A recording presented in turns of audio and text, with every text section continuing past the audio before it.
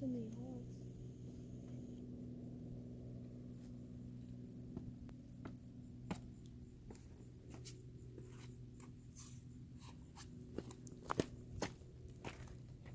If you fell, you wouldn't die because there's stuff below you, but you'd be seriously injured, and it would take so long to get help up here.